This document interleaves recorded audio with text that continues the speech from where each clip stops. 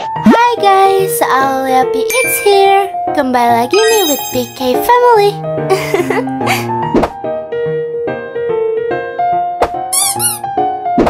Hope you guys enjoy. Bye. Halo guys, kembali lagi nih with PK Family Jadi hari ini kita itu mau kasih tutorial uh, Cara bikin karakter yang versi free ya teman-teman. Outfitnya, terus aksesorisnya juga. Mungkin beberapa dari kalian bakal bilang Kok tumben buat? Ya karena menurut kami ini juga bakal manfaat sih ya. Dan supaya kalian gak dikatain kopi-kopi juga. Ini bakal free to copy. Jadi kalau misalkan ada yang ngikutin kalian yang lain jangan olok dia ya karena ini itu resmi free to copy. Ya udah kita bakal bikin dua karakter perempuan dan dua karakter laki-laki. Jadi mungkin yang perempuan aku bakal review kalau yang laki-laki ya bang review. Tema karakter kali ini adalah tema karakternya orang USA sama Amerika ya she's right teman-teman ya udah kalau gitu dia dulu yang mulai ya aku nunggu buat yang selanjutnya Oke, ini langsung aja yang ke pertama. Ini yang pertama itu ya orang dewasa. Habis itu kulitnya itu yang ini ya teman-teman kan bisa sendiri itu barisannya. Kalian bisa cari juga. Terus matanya itu yang belum matanya lentik, guys. Nah yang ini ya, bukannya ke bawah tapi yang ke atas. Terus warna matanya itu warna biru, enggak warna hijau. Jadi matanya warna hijau. Terus buat alisnya yang ini, nah warna rambutnya itu pirang guys. Kalian ambil aja warna kuning atau kuning top ya guys. Terus mulutnya itu yang itu, pipinya yang plush kayak anime anime gitu. Terus kasih sedikit andeng-andeng lah. You can see it's kawaii ya guys. Nah ini rambutnya aku botakin dulu Kalian bisa lihat tadi Terus ini kita pilih outfit Oke karena udah selesai Tapi ini belum selesai ya teman-teman Buatnya ini langsung aja kita ke toko salon Karena kita mau ambil satu um, Poni rambutnya yang gak ada di avatar worldnya. Oke ini langsung aja kita ambil orangnya. Nah ini belum jadi ya guys. Masih botak. Terus kita taruh yang di sini. Nah kita, kita taruh di kursi dianya. Nah karena udah selesai dia salonan Langsung aja kita kembali ke studio avatar world again. Kita dekor lagi.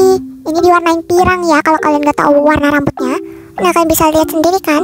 Oke ini langsung aja kita ke um, Avatar Studio. Kita warnain dulu apa kita kasih rambut belakang dulu? Warnain dulu aja ya poni depannya. Nah itu warna pirang. Terus baru deh setelah itu langsung kita ke uh, rambut belakang ya. Rambut belakangnya itu kuncir dua yang ini.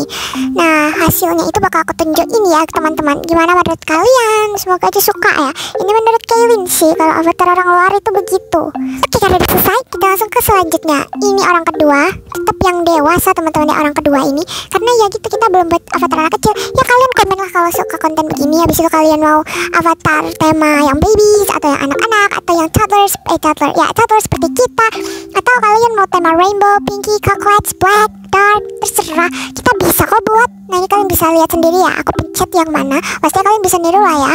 Dan sekali lagi aku bilang itu tuh free to copy jadi kalau ada yang copy kalian yang lain yang nggak copy tuh jangan ngeledek dia karena ini tuh kan udah free to copy wajar punya hak lah begitu. Kalian yang nggak punya hak buat ngolo ayolah. Oh aku jadi agak emosi. Oke langsung aja kita uh, pilih rambut depan. Oh ya beda aku mau bilang dia ini rambutnya warna coklat ya. Tuh kalian bisa lihat sendiri aku pencet warna coklat teman-teman. Oke karena udah selesai nih rambutnya itu pendek ya guys. Kayak rambutnya Kak Kimi waktu dulu rambutnya pendek. Oh ya aku juga mau bilang aku punya buatan atau susunan baju yang bagus dan menurut kini orang belum pernah buat ya baju hasilan seperti ini. Dan beruntungnya ini tuh free to copy buat kalian. Jadi baju suster ini dicampur sama cowgirl jacket ini. Abis itu setelahnya dikasih aksesoris yang ini. Karena udah selesai tuh kalian bisa lihat sendiri ya. Hmm, kayaknya ini ke giliran abu aku deh. Iya Kevin, uh, gantian ya. Oke guys, ini udah giliran aku. Ini langsung aja kalian bisa lihat sendiri ya. Aku pilih yang pastinya dewasa. Terus kali ini laki-lakinya itu putih ya. Putih kayak kulit kami. Tapi menurutku kulit hitam putih itu bagus-bagus teman-teman. Dan matanya sipit ya, harus yang sipit. Terus warna matanya itu warna sama kayak mata kita. Alisnya tebal. Habis itu mulutnya hup kayak orang marah. Terus pipinya lucu. Yang mana ya? Entah yang mana. Terus sama rambutnya yang kayak rambutnya Pak Garli, uh, papanya Lea. Kalian pastinya tahu dong Pak Garli yang mana ya, teman-teman? Ah, ini langsung kita warnain rambutnya warna rambut kami warna hitam hitam hitam bukan hitam sedang tapi hitam hitam terus buat bajunya dia pakai baju um, kerja pak guru olahraga gitu ceritanya. Pak guru olahraga yang ada di sekolahannya kak Kimi. Ya itu dia. Karena udah selesai kalian bisa lihat hasilnya ya. Di rating semoga aja kalian suka.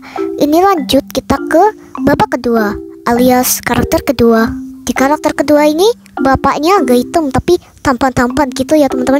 Dan menurutku karakter yang terakhir ini cocok buat yang sudah punya keluarga. Jadi dia ini papanya. Dia ini papa gitu ceritanya teman-teman. Kayak temanya pulang kerja gitu ya. Kerja keras cari nafkah buat keluarganya yang besar. Ya pura-puranya kaya gitu ya ciri-cirinya lah kalian bisa lihat sendiri. Ini aku kasih beberapa aksesoris atau bintik-bintik. Dari skinnya akan jadi lucu dan estetik teman-teman ya tuh.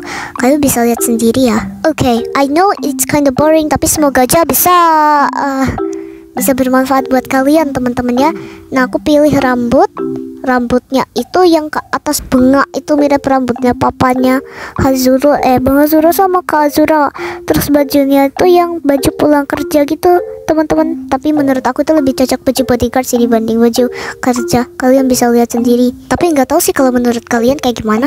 Akhirnya selesai juga empat karakter kami buat. Gimana menurut kalian? Bagus nggak? Oke oke. Langsung aja kita closing. Oke guys buat video kali ini sih Jaja Bye bye guys. See you next time. Di vlog tutorial karakter. Thank you.